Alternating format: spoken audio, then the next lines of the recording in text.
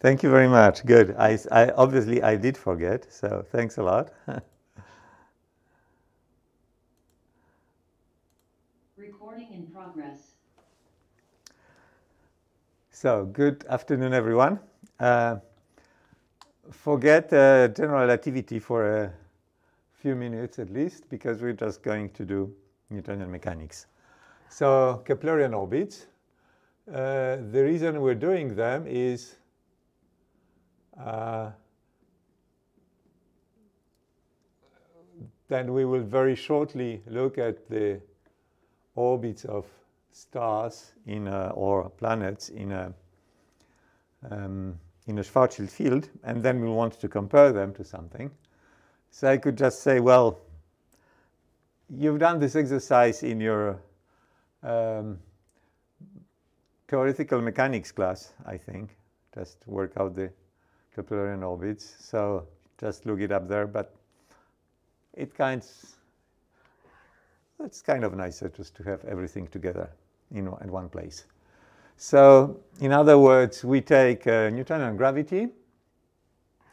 Uh, we look at the equations of motion mx, so m naught acceleration is equal the gradient of uh, the Newtonian potential. So that would be, uh, let's see, minus the gradient of the potential, so minus of minus gm naught m over r.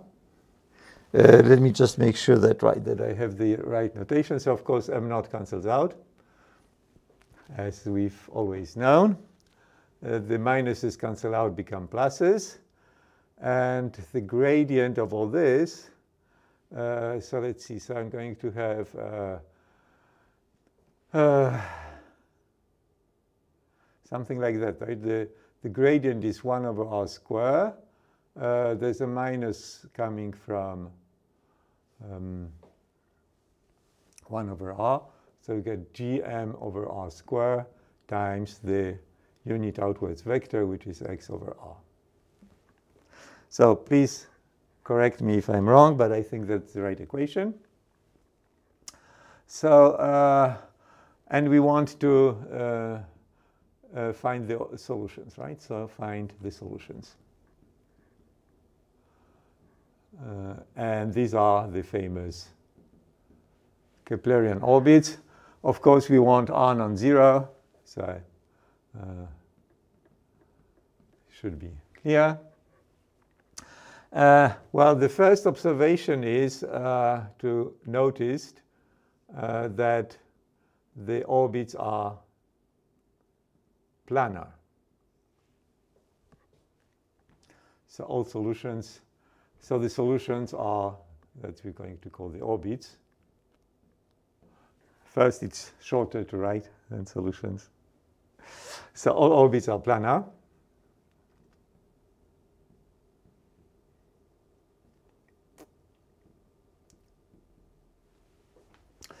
So there should be a simple argument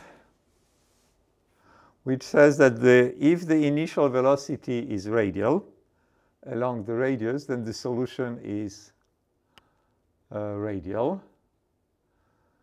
Uh, anyone has a suggestion? Simple argument if the uh, uh if uh, x dot at 0 is proportional to x,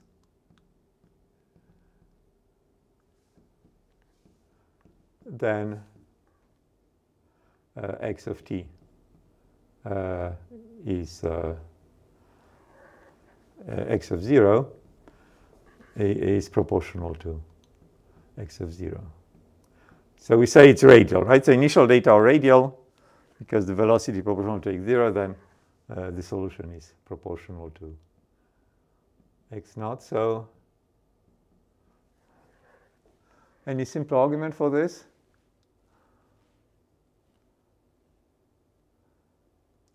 I mean, I can think of five complicated ones, and I'm sure that I had some simpler arguments before, but uh,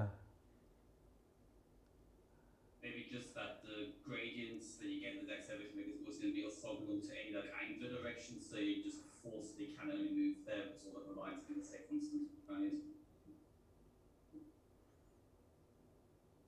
Say it again.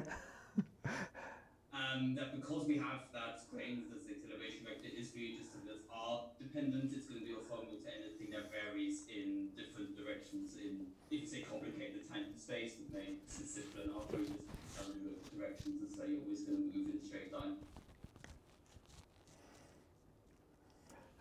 Good. So that, so there's one argument here. Uh, somebody, uh, anybody has another argument to suggest?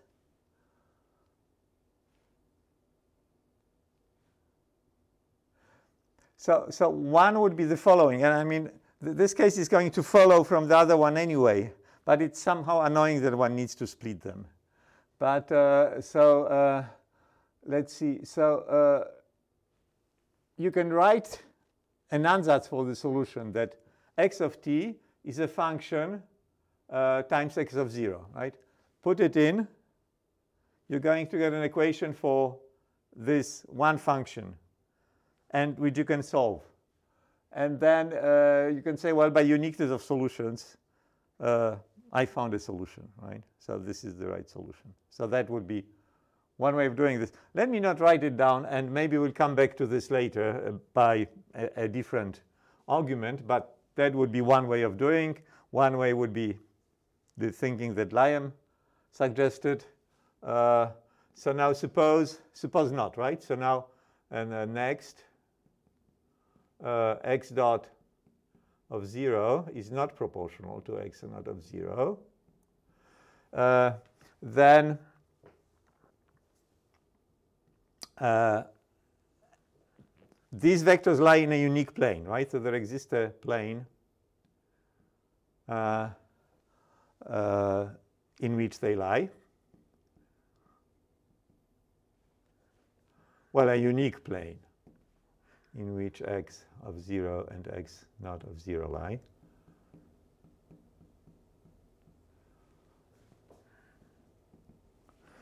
And, uh, and we use now uh, conservation of angular momentum.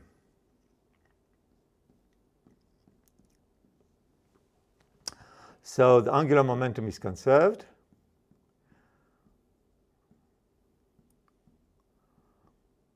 So J is equal uh, uh, M0x vector product with x dot. So if it ever happens that by uh, accident somebody coming from the uh, English uh, culture comes to this lecture and asks me what this is, then this is, uh, uh, they write it as a wedge. Okay, they write it like that. So that's uh, the same in the notation in, in the UK or some people as a cross product. This vector product of vectors, okay? So we have j, which is this function, and now we, we calculate uh, dj over dt.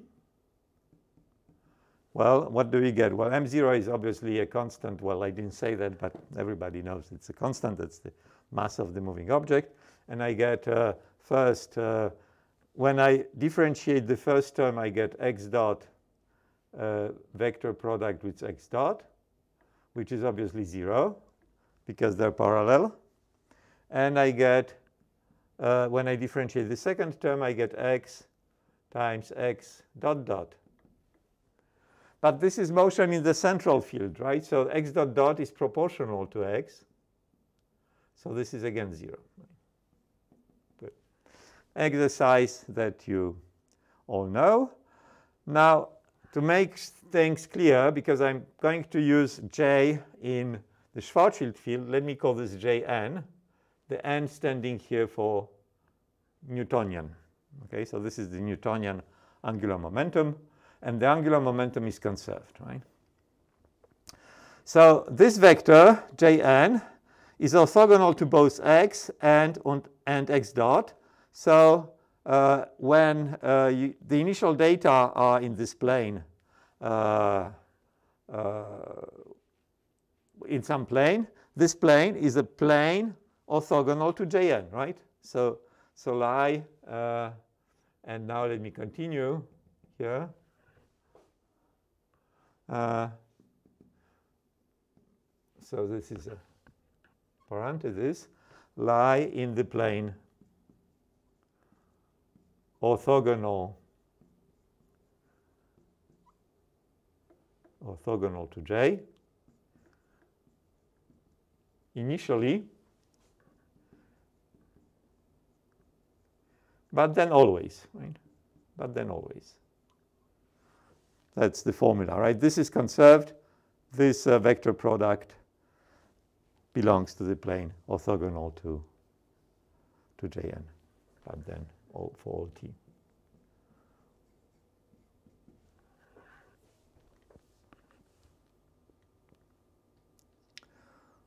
Right, x of t is orthogonal to Jn from this formula, so for all times. Good. Uh, so, uh, so this uh, this takes care of the uh, of this case, and uh, so how can we come back to A? Um, so in uh, if x of naught and uh, x dot are proportional, then the angular momentum would be zero. Uh, it's conserved all the time. Uh, it's conserved, so it's going to be zero all the time. But uh, if the uh, vector product of two vectors is zero, then there are proportional. Is this correct? I think it's true, right? if and only if, right? So, yeah.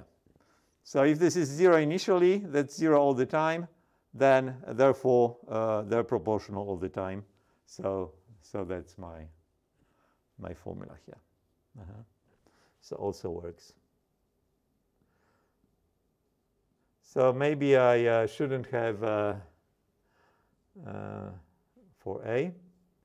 I shouldn't have made the difference here, but somehow it is a slightly different case. Good, but so what is then the point? So all orbits are planar, so there exists uh, uh, always a, if, if you started in a plane, you stay in this plane, uh, and then, uh, so you can choose coordinates so that um, the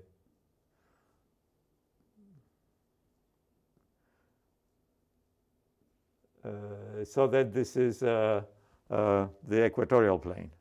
Uh, uh, this is the equatorial plane. And uh, equatorial plane means that theta is pi half uh, for all time, right? Theta of t for all t.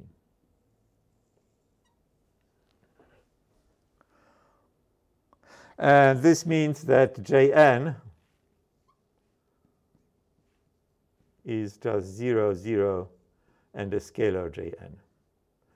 Well, and uh, which has whatever sign it has. Good. So this is our starting point to continue. So we're using conservation of momentum, of angular momentum, to show that uh, the problem is uh,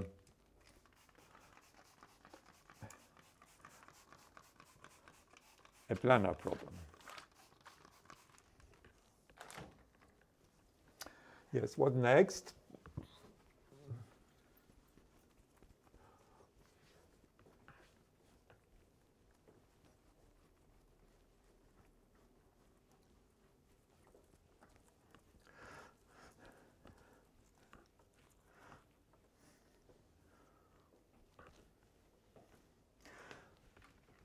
So this uh, mysterious machine to erase the blackboard seems to be working today.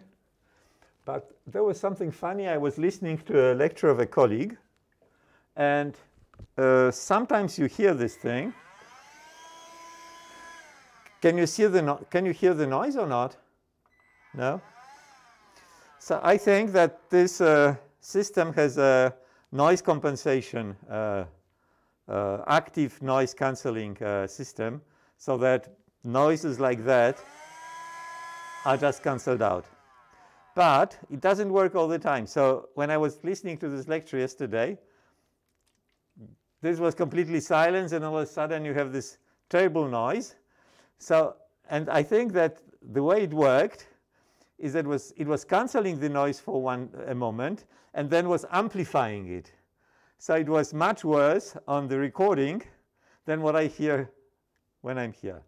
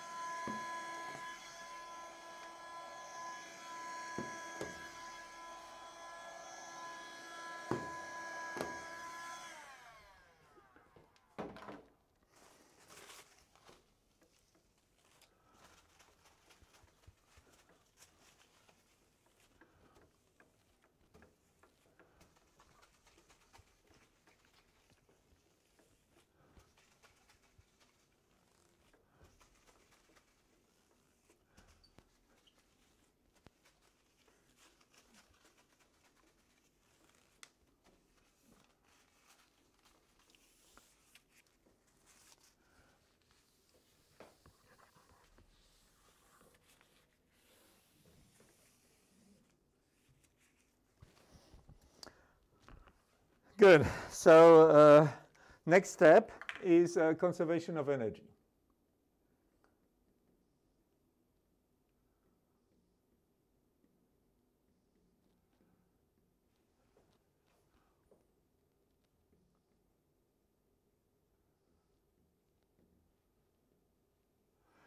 So uh, the energy is uh, uh,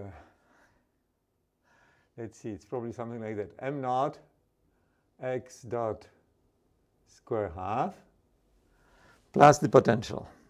Plus the potential means minus gm m naught over r. So we have to uh, work out what uh, this thing is uh, using conservation of angular momentum so we already know that the motion takes place uh, in a plane. So this is only, say, x of t, y of t. And I forget the third coordinate. Uh, and in polar coordinate, this would be r, cos, r of t cos phi of t. Uh, let me not write this of t because it just takes too much place. I didn't write it here, so uh, so this is r cos phi. Everything is functions of of time. So I can just calculate the derivative. x dot is there'll be a term r dot and multiplying this. And there'll be another term phi dot uh, r multiplying the vector uh,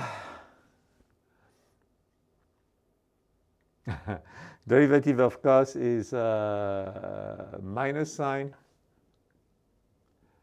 and derivative of sine is cos sine. Okay. So this Newtonian angular momentum will be m 0 x uh, times vector x naught. So I need to take a vector product of this vector with this one. So maybe it was a stupid idea not to add the zeros here. So let me add them because maybe it's going to be clearer if I do at this third place. But uh, right? So somehow you have a zero here because you're going to make a vector product in two dimensions. Well, one can do it, but this is in three dimensions, right? So uh, when you take the vector product of this times that, then uh, this is proportional to the position. So x vector with x is 0. So it's going to drop out. So then it's the same as, uh, therefore, the vector product of uh, this thing, which is r, uh, and let me write it now like that, cos phi sine phi 0. And this guy, so this guy has a phi dot, and it has an r, which makes an r square. And this is minus sine phi cos phi 0. Right? So this, this term times this term drops out. And uh, I don't know how good you are at calculating uh, vector products, but I don't need to make any calculation because I know that, well, these two vectors are lying in the plane. So uh, therefore, the vector product will be orthogonal to this plane. So, so the zeros here are straightforward. Now, this is a unit vector. This is a unit vector. And they're orthogonal if you just calculate this, right? So the length of the scalar product is the length of the first times the first second times the sine of the angle, but they're orthogonal, so it's just uh, 1 here. Good. So in other words, uh, our Jn, which is conserved. Now this vector is conserved, therefore its z component is conserved. So Jn is uh, m0 phi dot r square. And of course, I could have told you this immediately if you remember your classical mechanics, but I'm okay, whatever. And so this gives me a, an equation for what d phi over dt is, right? d phi over dt, because this is concerned, then you get uh, jn over m0 r square. And this is going to be probably our equation 1 today.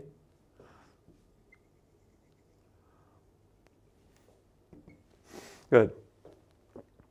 So next, uh, we want to calculate the energy. And this, uh, again, I'm going to put an n here uh, because this is the Newtonian energy, and I don't want to get confused uh, later.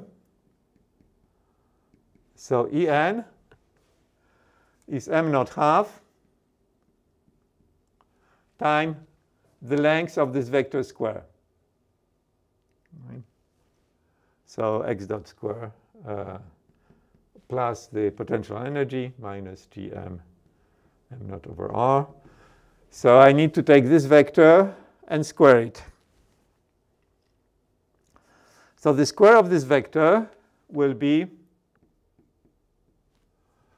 the square of this one, but this is a unit vector.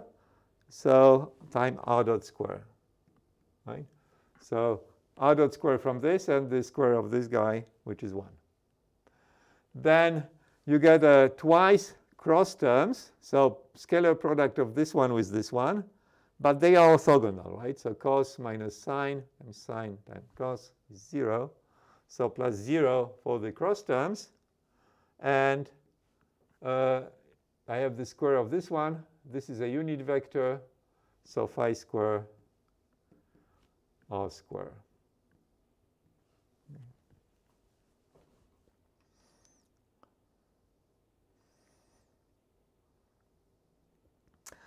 If I'm not sure uh, how to check this, well, uh,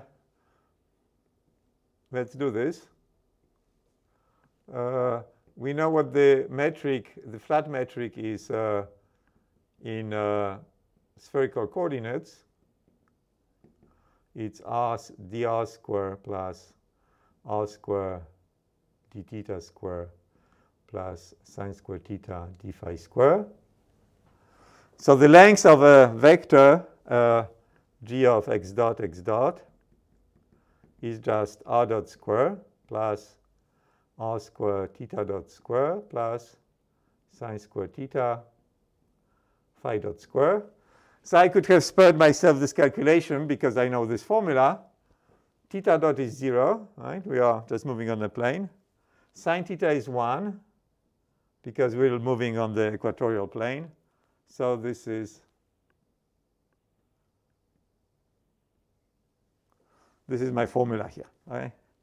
So I should have been clever and told you, come on guys, we've been doing this for two months now, so we should know this. We should know better than doing this calculation. Good. Uh, so this was a check of this, but there's still a piece missing here, right? So minus gm m naught over r. And then if I continue, I can uh, use phi dot from equation 1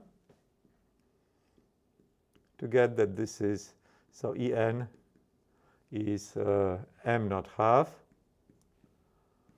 r dot square uh, plus ah, this becomes scary now.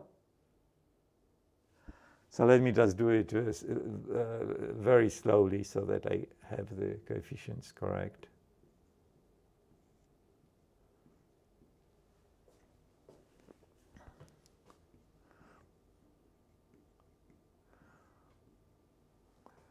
So the clever thing would have to be to say, well, let's take uh, m0 equal 1 uh, because we know that uh, uh nothing depends upon m0. So do the calculation for a unit mass object.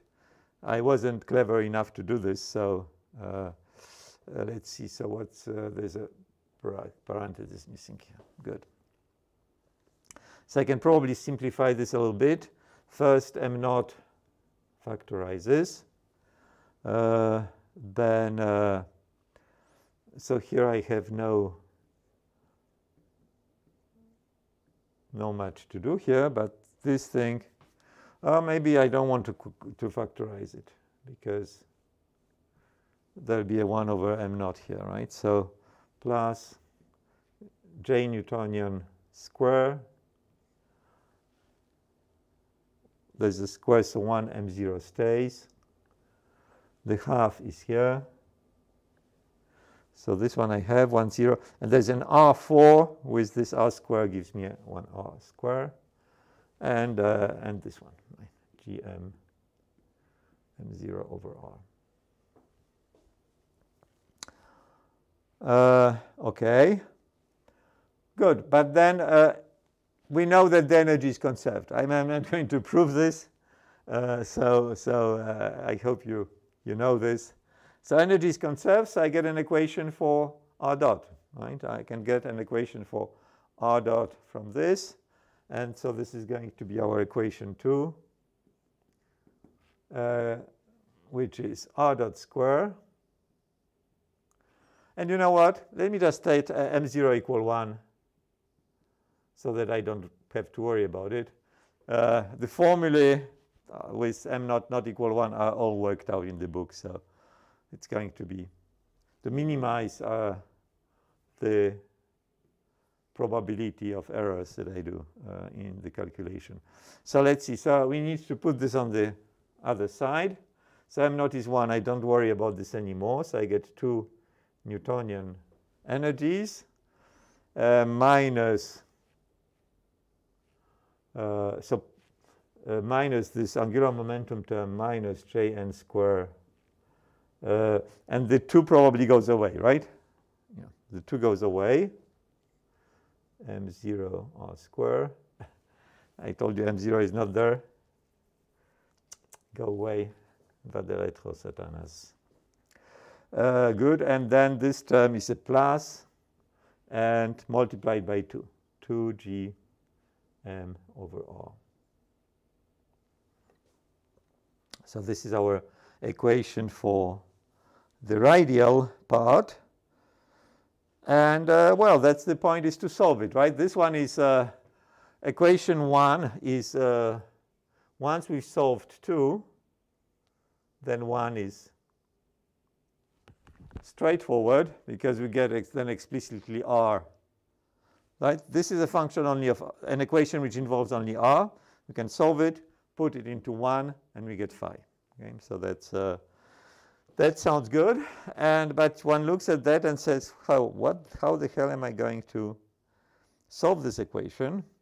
And does, one, does anyone remember the trick to, to solve this?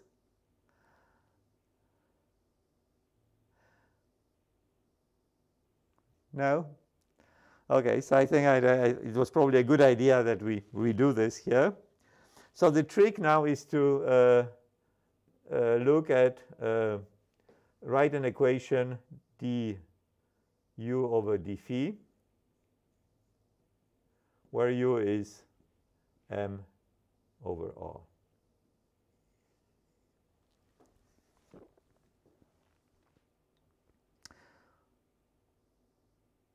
So in other words, uh, we uh, don't view r as a function of t, but we'd go to a new function with m over r. Of course, this is then again a function of t, but we can use this equation to make, uh, well, the, this phi is a function of time, so we can just think of this equation as being t as a function of time, right? So use this equation to uh, to change the uh, dependent variable. So, so that the, the key is, is, is, two things here, right? So uh, d over d phi with u equal m over r. Uh, let's see. So I probably need uh, not to erase this. So let me just uh, do it like that.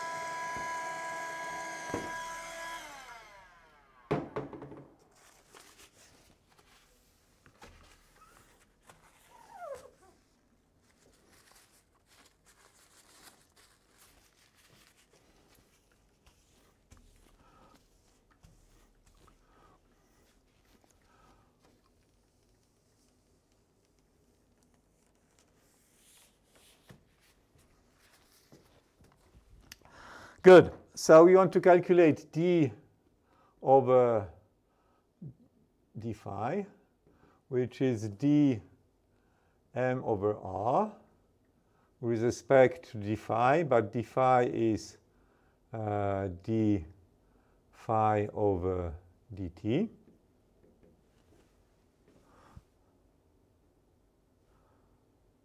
times dt. So this is 1 over uh, well, maybe better to do this like that. So in other words, d over dt of m over r divided by d phi over dt. Maybe I should have written it like that. This looks a bit weird. So that's probably the, the right way to go. So this is now uh, d over dt of m over r is m over r square, dr over dt. And 1 over d phi over dt, so I'm using 1 here. So d phi over dt is here, and 1 over d phi over dt Uh, m0 we to take 1. Uh, so this is r square over jn. So they cancel out nicely. And I get minus m over jn dr over dt. Good. Uh, but then I can calculate d over d phi square.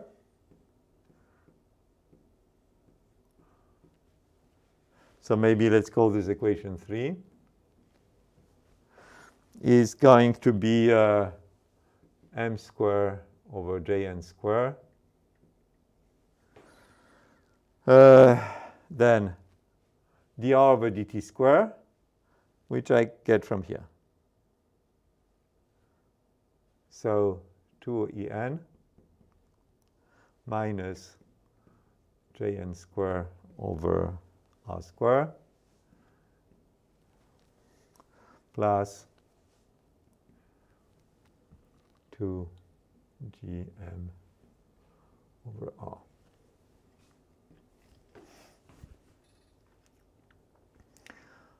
Okay, so is there something interesting happening here? Please uh, check that what I'm doing is correct, right? So I, I, I just don't want to end up with the wrong equation at the end. So once again, d over d phi. So I differentiate this over time, this over time. Uh, m over r square, dr over dt. 1 over d phi over dt, that's r square over jn, m0 is 1. So r squares cancel out, we get this nice formula. And then dau over d phi is m square over jn square from here. d over dt square from this equation too.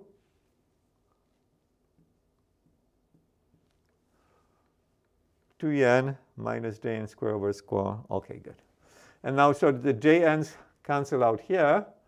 So we get uh, a complicated expression which you will see we don't care about, but uh, that's what we get here. But here, uh, the jn's cancel out, so we get minus m square over r square. And this is great because this is u square. Right? u was m over r. And this one is uh, plus 2g m cube. Well, let me keep m square because this is uh, u again. Right? This is u. So, so this is my equation. And just for fun, I'm going to call this coefficient u naught. So u naught is equal g m square over j n square.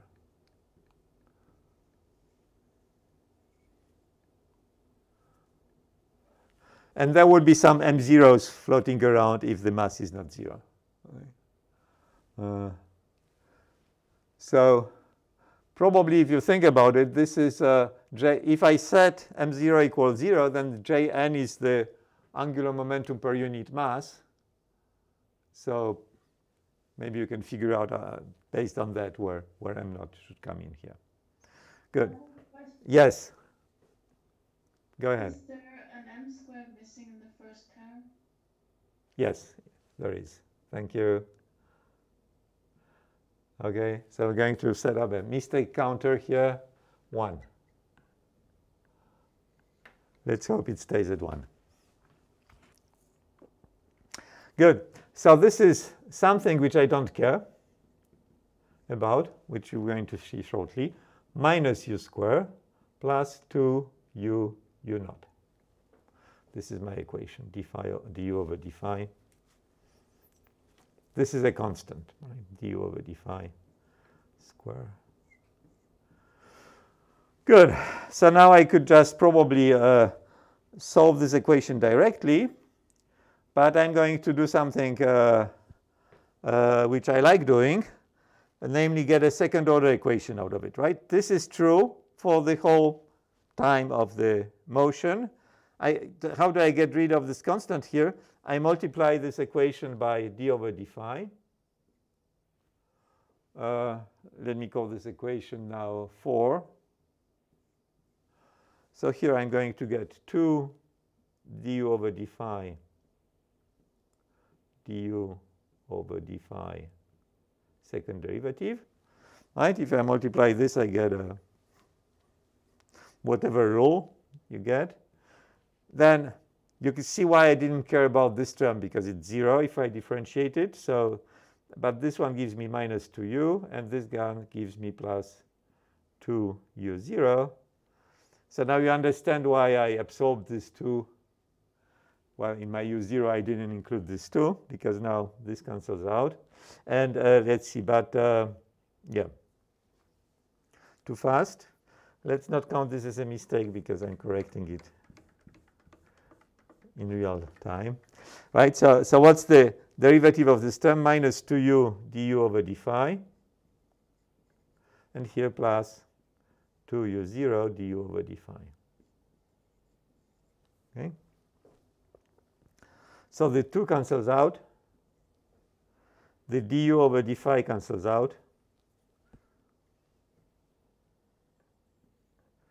And I get a very simple equation for u. And I think probably at this stage I can erase everything here. Maybe I will need this equation Jn is m0, which is 1 phi dot r square. Well, this one I should remember, but uh, in case I don't, then it's here anyway. Good. So let's get rid of this.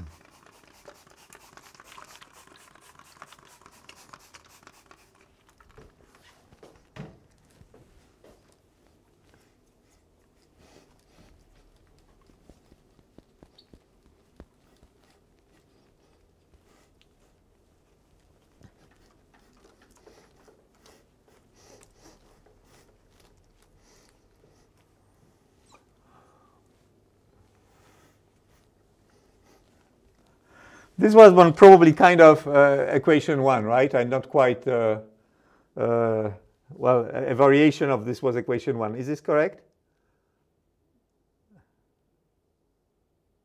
Yes? No? Yes, I think so. Yeah, essentially, right? I mean, it was written the other way around, but but it's it's uh, basically the same as equation one.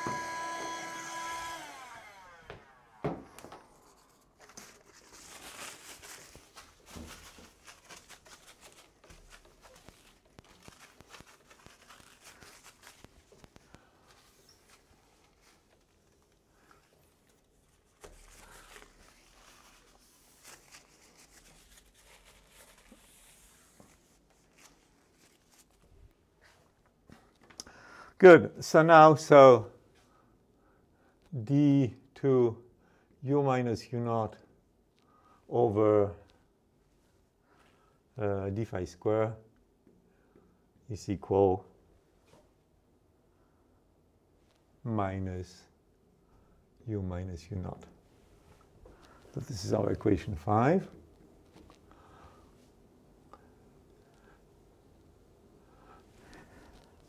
I've been very clever to add this u naught here because u naught is a constant, so you can add it. And then this is just an equation which uh, uh, and his dog can solve uh, in preschool. So u is equal u naught plus uh, some function, uh, some constant a cos phi minus phi naught. Uh, obviously, this constant u naught uh, is uh, cannot be zero because u was m over r. So r equals 0 would mean. So uh, therefore, I can redefine this constant by factoring this out. And then I can choose rotate coordinates so that phi naught is 0, right? Rotate coordinates.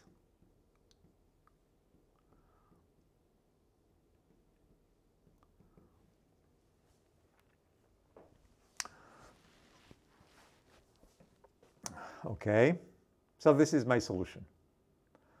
So I have my u as a function of phi, and these are my orbit.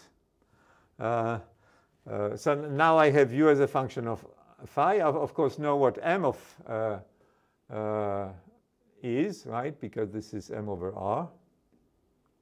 So m over r is this. So I know what r, r of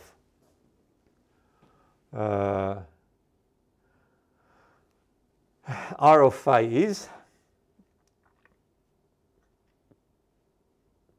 Let's see, so r is equal.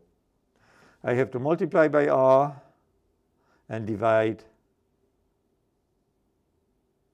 divide, uh, did I do something wrong? Maybe not, okay. Good. So if I multiply by r, let me do it slowly because I'm going to do it wrong, right? So if I multiply by r, I'm going to get m is equal r u naught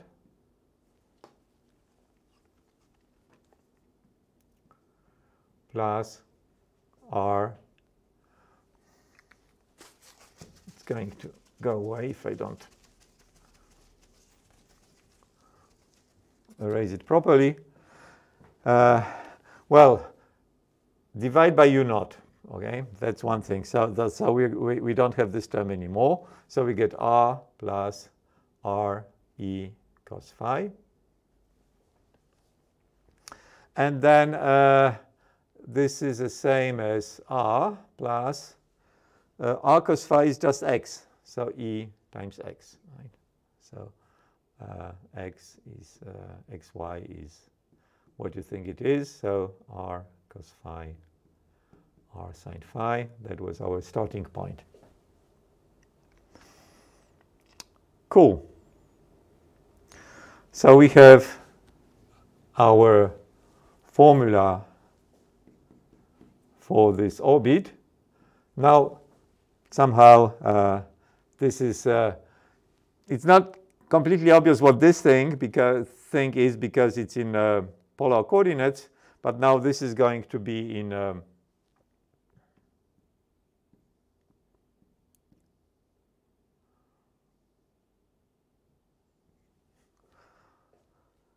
uh, so that could be equation 6. This would be in uh, Cartesian coordinates, easier to understand. Let me check whether the equation is correct because if I have, a, it wrong here, we'll be in back trouble. Uh, so far, everything looked to me spot on. Okay, good. So this is the solution of the problem. Uh, so the question is, what is this, right? What is, uh, uh what kind of set it, it is this? not very helpful remark to write, but uh, uh, right. So, so we, we we of course know what it should be. This should be uh, either hyperbole or uh, parabole or uh, ellipsi. And to see this, uh, you square six, take six square, you get r square, which is x square plus y square is equal m over divided by u naught minus square. I square this minus twice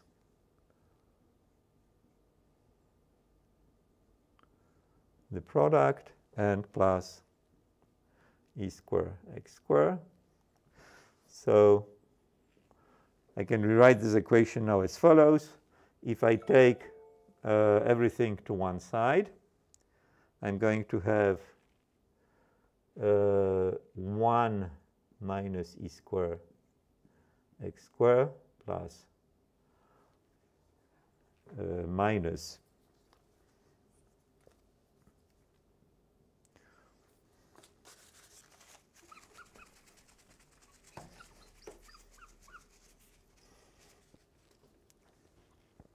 plus 2 e m over u naught x plus y square is equal m over u naught square.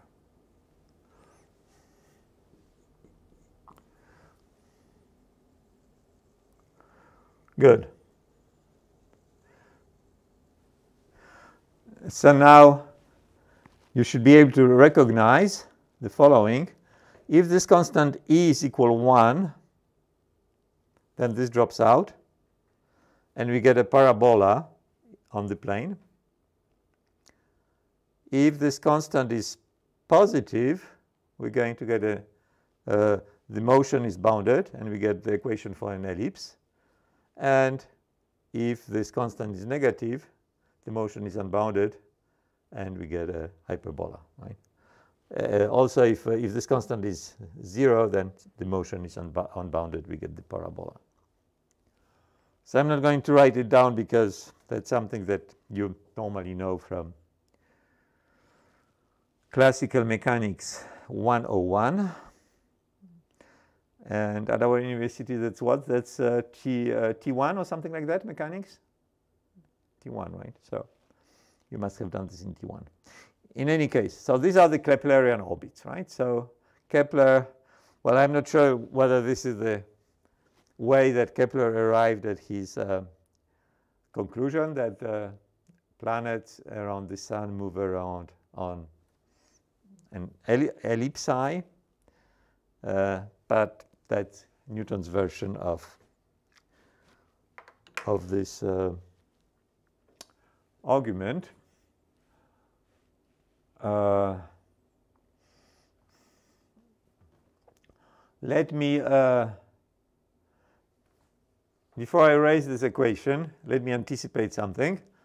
Uh, when we're going to derive a similar equation in the Schwarzschild geometry, we're going to get something very similar. So this constant will be different than this one.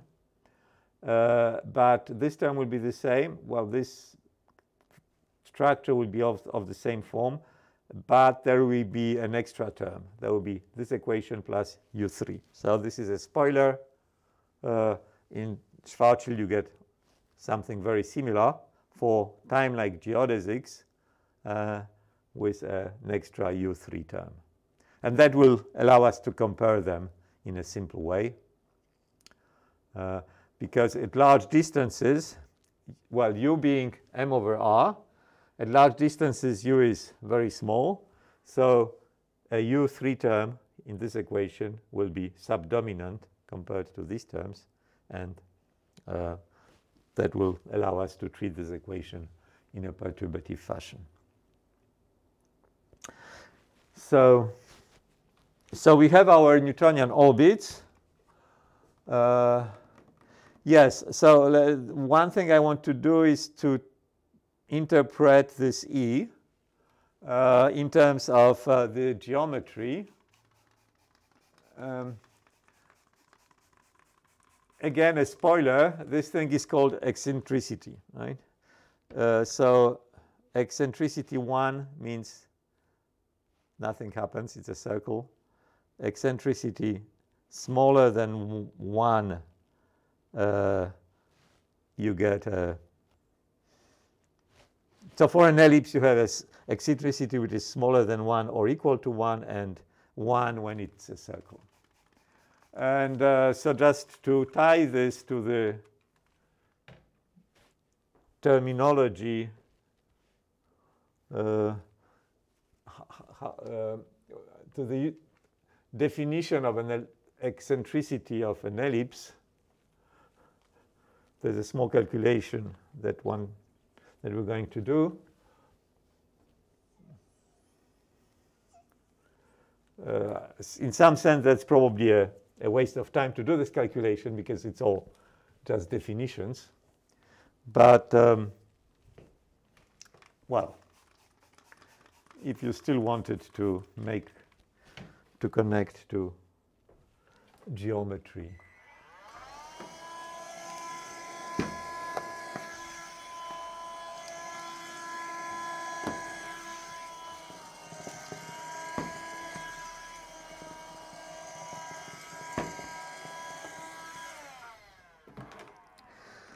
So let's, uh, uh, well, it looks like I don't need to make any corrections here. So uh, the standard uh, form for an ellipse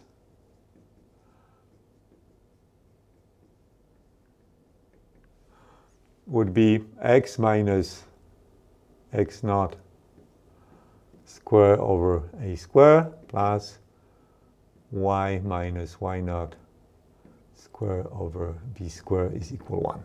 Okay? That's uh, the textbook version. So in our case, one thing is obvious. Uh, y0 is 0, right? y0 is, is 0 because if I develop this, they're going to be cross terms. I don't have cross terms. X naught I could calculate from, from here, but I don't care, right? So X naught equals something if you want to. Uh, you can try to do this in an exercise. It's not very useful. And this is today's uh, English exercise.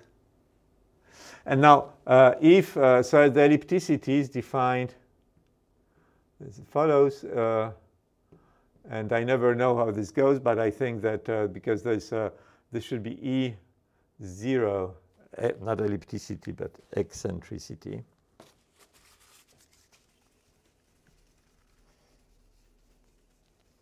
And let me call this E0 square.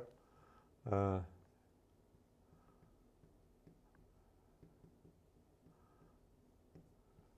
this is defined as 1 minus b square over a square if when uh, uh, a is louder than b, right?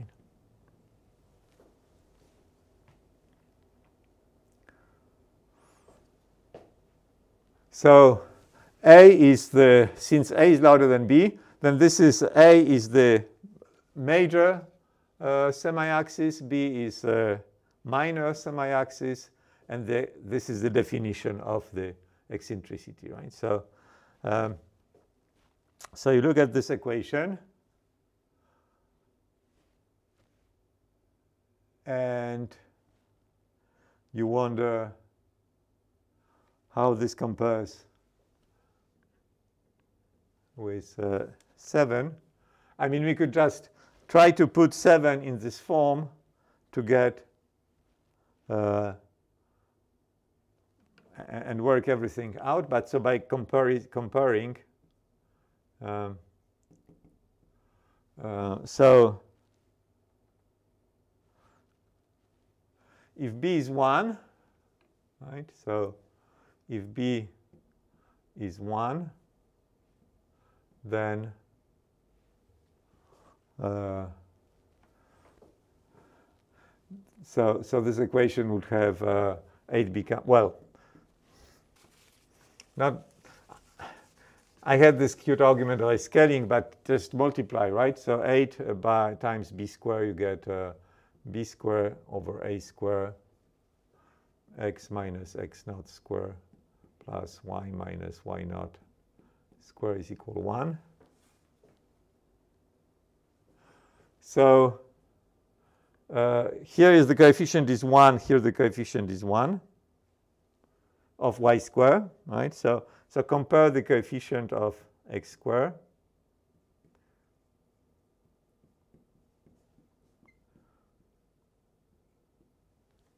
One minus e square is equal to b square over a square, which is the same as saying that e square is equal to 1 minus b square over a square, which is e0 square.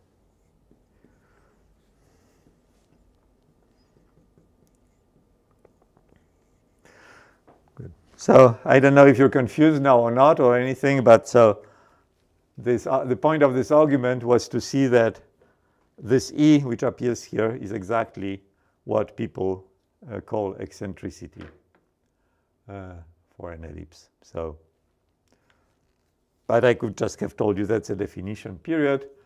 Maybe here is nicer because you see that this is uh, the difference between uh, 1 and the square of the ratios of the uh, semi-axis. And so therefore, certainly if p is equal to a, then the uh, eccentricity is 0. I probably said something else right before. E1 is then is uh, um, good. For, forget what I said before. I didn't say anything. In fact, I've been I haven't been talking at all during this lecture. So just if you happen to view it on YouTube, then just switch off the sound. Anyway, um, so the point is the following. That's the equation for an ellipse. Uh, if we divide, multiply by base b square, we get this. So the coefficient of x square is when here we have 1, which is the case here. Then the coefficient of x square is b square over a square. But our coefficient is 1 minus a square. So this is, uh, uh, in terms of this, the ratio of the lengths of the minor and major semi-axis, then um, this is our E.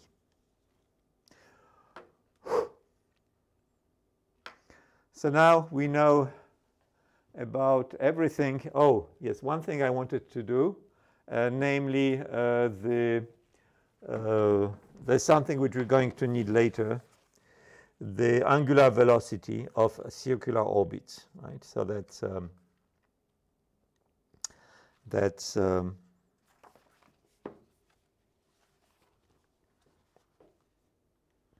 that's useful later. So let me just do this. Now at this stage I only need uh, this equation, right? And um,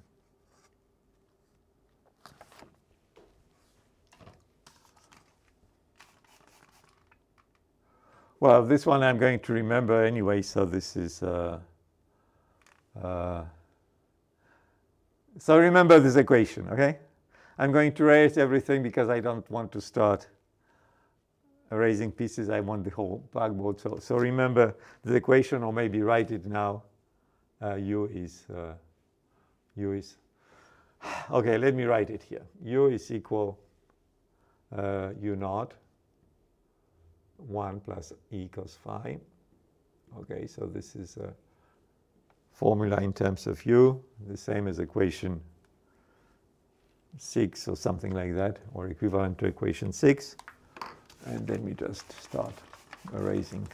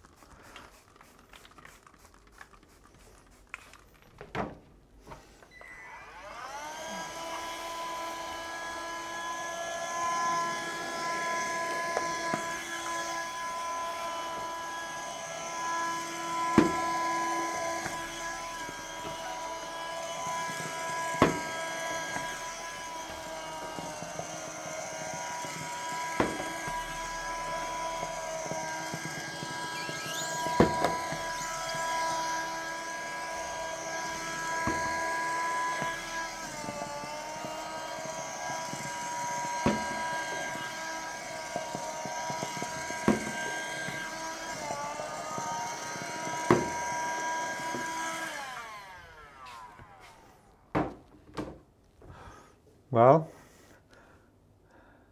uh, a few more lectures and I can hire myself as a janitor. Uh, starts being pretty good.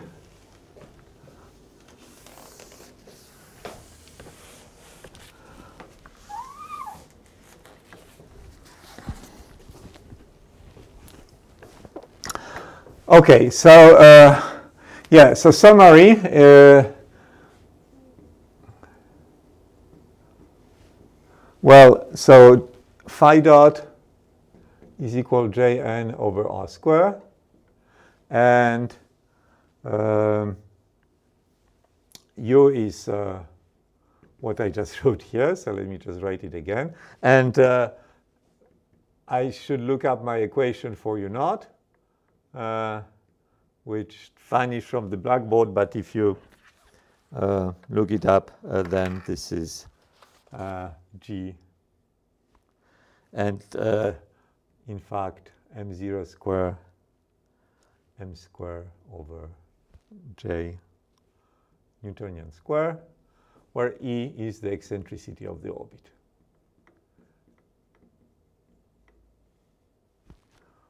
of the orbit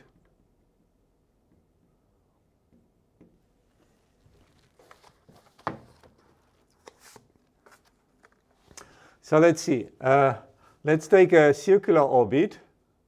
Uh, and so now uh, just last thing I'm going to do here is for further reference uh, for comparison later.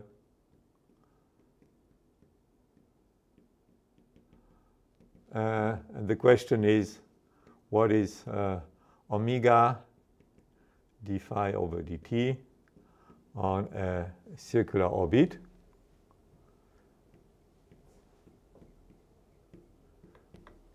Okay.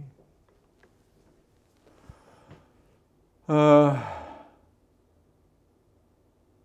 and for this, I need uh, uh, to use the no, maybe I don't need to use much. Let's see, so uh, phi dot is j, j on n over r square. Uh, what's r on a circular orbit, right? So on a circular orbit, uh, you have r is, uh, t is equal r for all t. So the eccentricity is uh, 0 right? U is constant. Uh, so the eccentricity is, is zero. Uh, then uh, R is constant, so d phi over dt is constant, right? So omega is, uh, and this was phi dot, was it, uh, or phi dot square? Phi dot, right? Yeah, that's the equation here. Phi dot is uh, jn over r square. That's our omega. And this is uh, capital R now.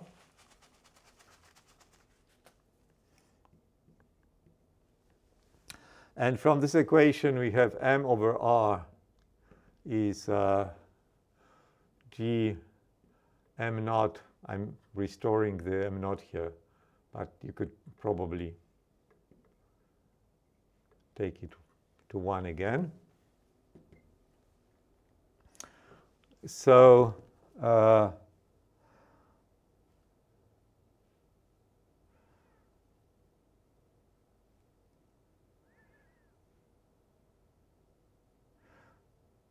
what do I do with this? Um, yes, I can probably calculate J. Okay.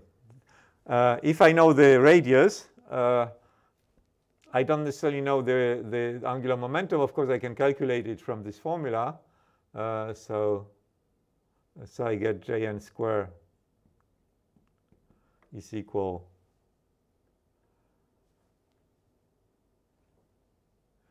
g m naught m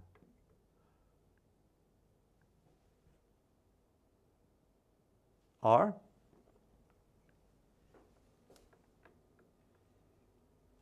so omega jn over r squared, so square root of g m naught square m r divided by r square. So m naught factors out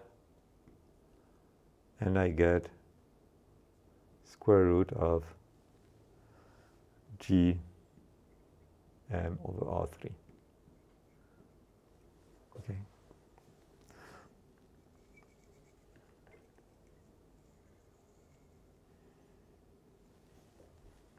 And let me see if I have it right. This m naught should have cancelled somehow. Of course, m naught is 1, so we don't care. Uh, why did it not cancel?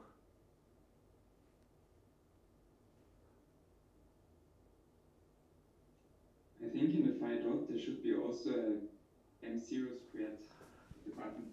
Okay, because we we assume that m naught is is here. So it cancels out. So now the question is, how does it cancel so that? Uh, uh, well, let, let me just not try to invent, but write the the right formula. Uh, well, actually, uh, we know what the right formula is, right? We know we need M naught here, right? I mean that's uh, so.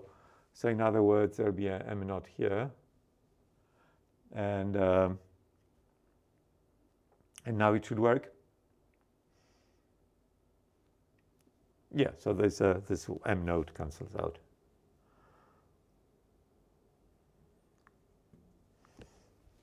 Good. Thanks a lot. So, so that is a simple formula for the frequency. If you know, uh, if you have a spherical Keplerian orbit, you know its radius, you know its frequency. Or if you know the radius and the frequency, you know the mass of the object. So that's uh, how you can determine the masses of planets. Good. So, well, this Newtonian physics is much more exhausting than general relativity. I don't know if you agree with this, but um, this is my uh, view on this. And now, how much time do we have? Um, uh, we have 15 minutes, so it's probably good enough to. It's never a good idea to start uh, to cover two topics in a single lecture. Uh, but then it's uh, never a good idea to waste uh, 15 minutes of a lecture in a lecture course which is already a bit stretched. We're going to be on holidays. Uh, is this next week? Yeah. So next uh, Thursday is dropping out, and there'll be another Thursday dropping out in June. So let's uh, use these 15 minutes. Uh, and these 15 minutes, uh, I've already told you the color we're doing this Keplerian orbits because we want to compare the whole business with geodesics in Schwarzschild. So remember one of the fundamental postulates uh, or ideas or axioms or facts in general relativity is that test objects move on geodesics. A test, a test object is an object that doesn't create its own gravitational field.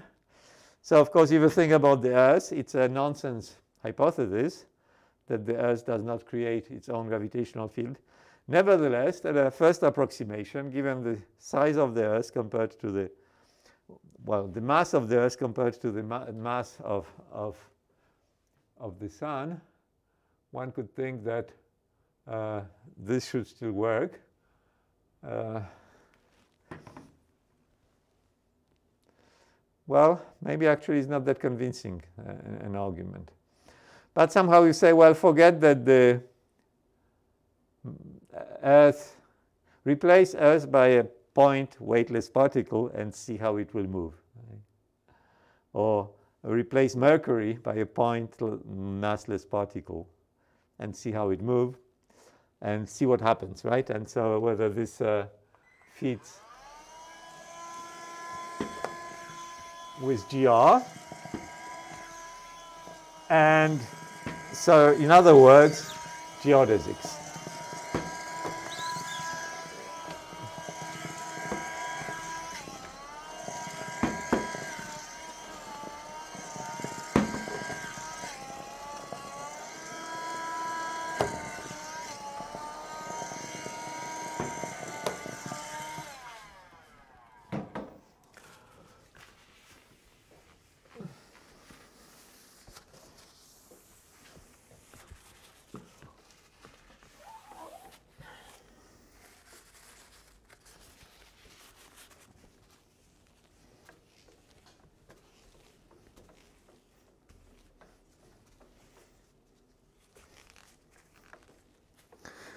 So, uh, Ivan, I need your help again. New paragraph.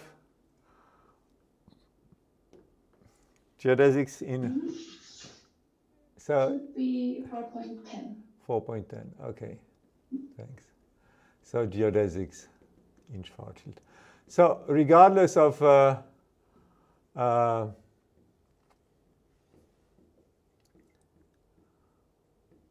the physical interest, if you think about uh, orbits of uh, planets around the sun, or orbits of stars around Sagittarius A star, or orbits of uh, stars around the center of our galaxy, uh, then uh, studying of geodesics is a natural thing in any uh, in, in differential geometry, right? So you have a metric. How do you study this?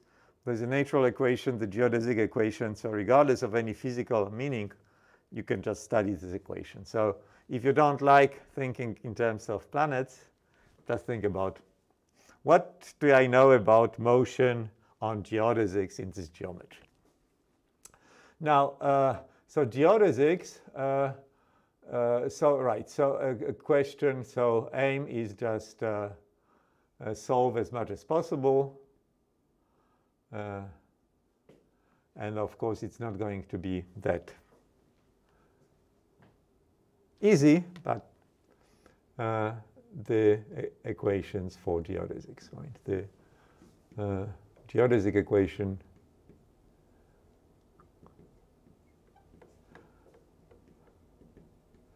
and the equation is the one you know.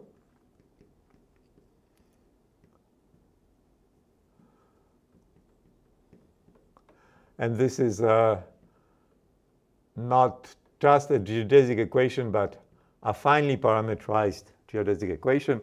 You would have a, you could have a velocity term here in general. So we have the S is a uh, proper time, if time-like, right? Proper time if uh, time-like.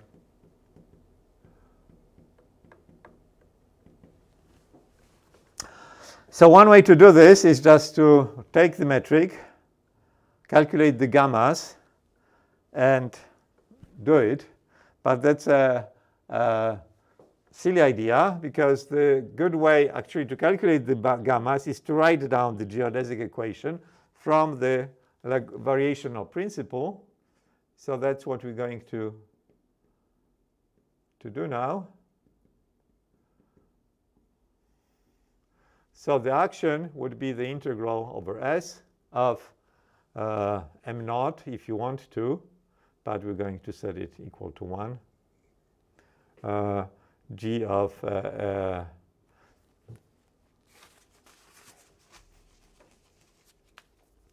g alpha beta uh, of x of s dx alpha over ds dx beta over ds Yes?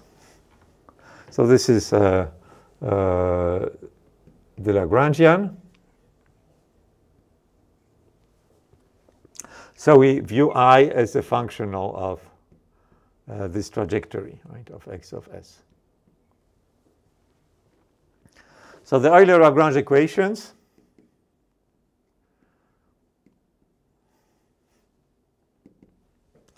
dl over dx dot mu is dl over dx mu.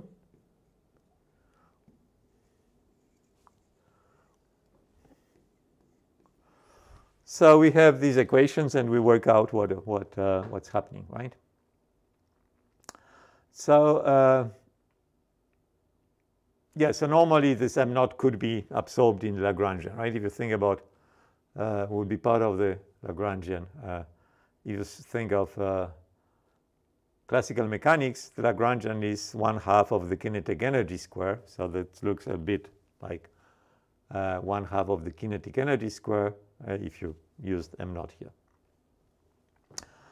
Uh, good. So let's see. So uh, and what is the metric? So in our case, uh, the action is therefore uh, the Schwarzschild action, which is um, yes. So integral of one half and then GTT so let me just remind you what the metric is, minus uh, v dt square plus dr square over v plus r square d omega square, well, this is the metric uh,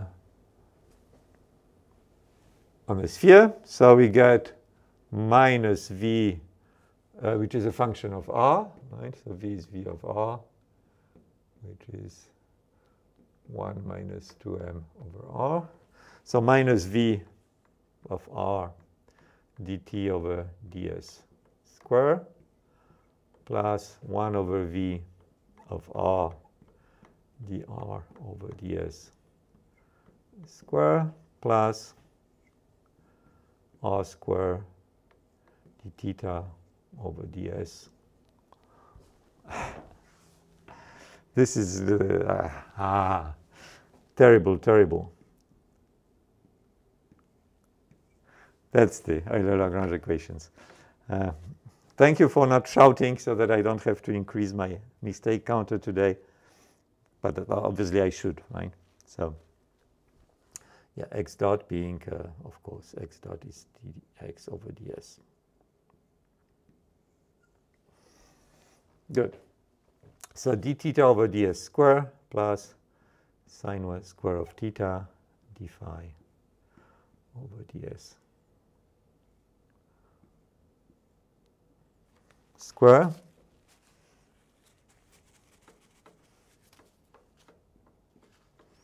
ds. So this is my Lagrangian, and I need to work out the Euler-Lagrange equations. And uh, in the remaining seven minutes, we'll just be able to uh, write them and maybe make an argument which is relevant for what follows. So uh, I need the room here. So let me just erase this. Um, so the, uh, if we just use uh, 1 with uh, x mu is equal phi, so the phi coordinate. So the Lagrangian here does not depend on dl over d phi, uh, on phi. So, right, it depends upon r and on theta but doesn't depend upon t and doesn't depend upon phi. So uh, we get a conservation law out of this, d over ds, dl over d phi dot is 0. And what's dl over d phi dot? Well, this is this very clever 1 half which cancels the square from here. Uh, but so this is d over ds of, uh, well, r square is here, sine square theta is here, and this gives me uh, 2 phi dot dot, uh, phi dot, right? Well, I already have the 0 here, so there's not much point of repeating this. Uh, yes, so once again, Nothing depends upon phi. So dl over d phi is 0. Then I have a d over ds, dl over d phi dot, which is 0. And dl over d phi dot, there's a 1 half which will cancel with this 2. Uh, there is a r square which is here. This r square, okay, good. So a conservation law, uh, obviously conservation of angular momentum, right? So something that we looks very much uh, like before. There exists a constant j so that r square sine square theta phi dot is j and constant in this sense it does not depend upon s right so we get an equation for phi dot if we uh, uh, if we know what r and theta is then we know j. Uh, we know phi dot. And uh, this is, let's, let it be our equation. Well, let this be equation 1 will be the Lagrangian. No, uh, this is equation 2. So this is going to be equation 3. And uh, if you look at the, the Newtonian calculation, uh, this is the same as our definition of Newtonian uh, angular momentum, except that m0 is 1 okay, if you take our equation, and theta, sine theta is, uh, uh, is 1 because uh, in the previous case we were on a, on a plane, so that would give the same equation. Good. So now the main point today, and I think I'm going to stop there, is to show you that theta, uh, that the motion is planar again. Okay, so this is what we want to, to do now. And for this, I need to erase. Uh, hmm. I need to erase a lot. So let's see.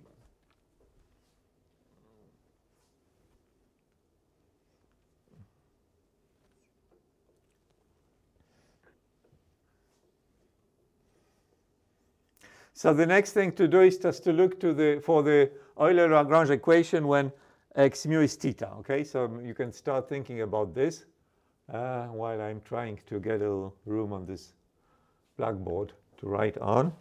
Let's see if it will work. If I just do it like that. We saw the machine from hell.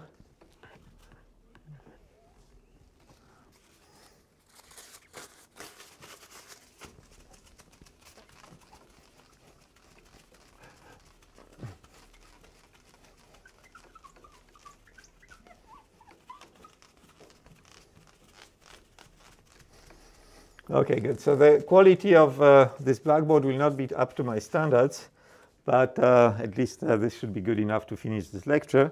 So we just look at d over d. Uh, so the uh, Euler-Lagrange uh, for theta with x mu equal theta. Then I get, so dl d over ds dl over dx uh, theta dot is equal dl over d theta. So this requires a little more work than before because dl over d theta will be non-zero. Uh, so from this term we get with the 1 half d over ds of um, r square uh, d theta over ds square. Uh, no, well, d theta over ds uh, is equal uh, the derivative of this term. So the derivative of sine is sine cos. Well, sine square gives me 2 sine cos, and there's a 2 which cancels out. 2 sine theta cos theta and d phi over ds square. So good. So I'm out of time.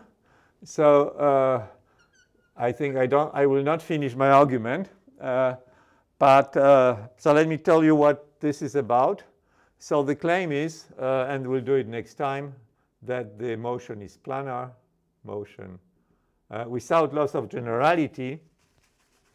We can choose our coordinates so that theta is pi half.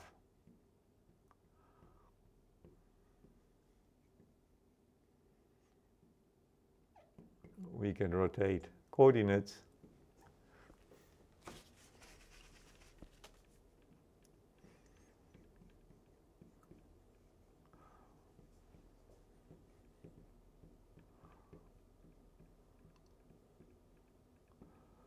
so that theta of s is pi half for all s, right? So the motion takes place in the equatorial plane. And the argument for this will be that uh, theta equal pi half uh, is equal pi half for all times. Solve this equation. Because if theta is pi half, then this is 0. No, this is, the, is this one, but this one is 0, right?